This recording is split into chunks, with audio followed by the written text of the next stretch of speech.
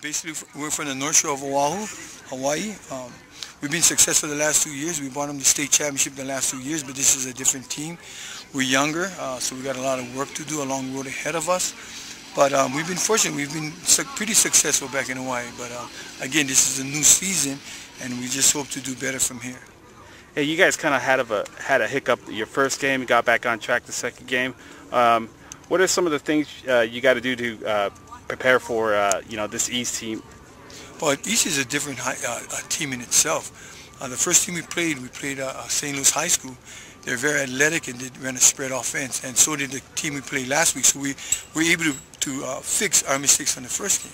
But now you're going to get a team that's big, physical, strong. They got a running back that's, ooh, he's not only big, but he's fast and strong. So it's a different kind of team we're going to face that we face so far, big physical team. But the funny thing is we're kind of the same way. We run the ball. Uh, we, we, we rely on defense. So it's, it's like two teams that playing each other, basically, but they're bigger and stronger, so we have a lot more work to do. Yeah, it's kind of like playing a mirror image of your guys' self. Uh, you've got two two stud running backs with Apalava and I forget the other guy's name, but you know they're pretty good too. So you know. Yeah, yeah, yeah. We we got a good good uh, running back tandem, but again, you know, um, they're bigger. Uh, the the key is going to be who can stop who. Yeah. I mean, if we're able to kind of contain that running back, because you're not going to be able to stop him. The thing is, you just want to minimize his gains, eh, which is not going to be easy. Um, we won't be able to tackle him one-on-one, that's for sure. We're going to have to play team defense. If we do that, we got a shot. If we can, it's going to be a long night for us.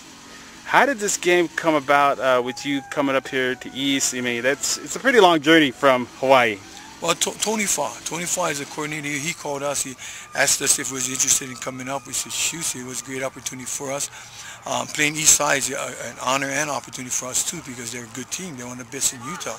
So anytime you get to play that kind of caliber, kind of a team, and, and if you can stay with them, it just says a lot for your program, yeah there is a somewhat of a um, small connection here here in uh, here in Utah. I mean, you got a pretty decent following. A lot of alum, um, from what I've seen, live here. So, are you looking for them to come out and support you guys? Oh yeah, the word is they will be. I mean, it's on on on the Facebook on the website. I mean.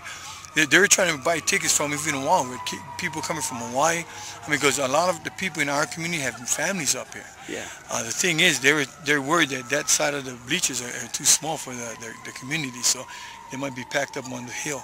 The difference is we're red, you're red, everybody's going to be in the red, so you won't know who's who.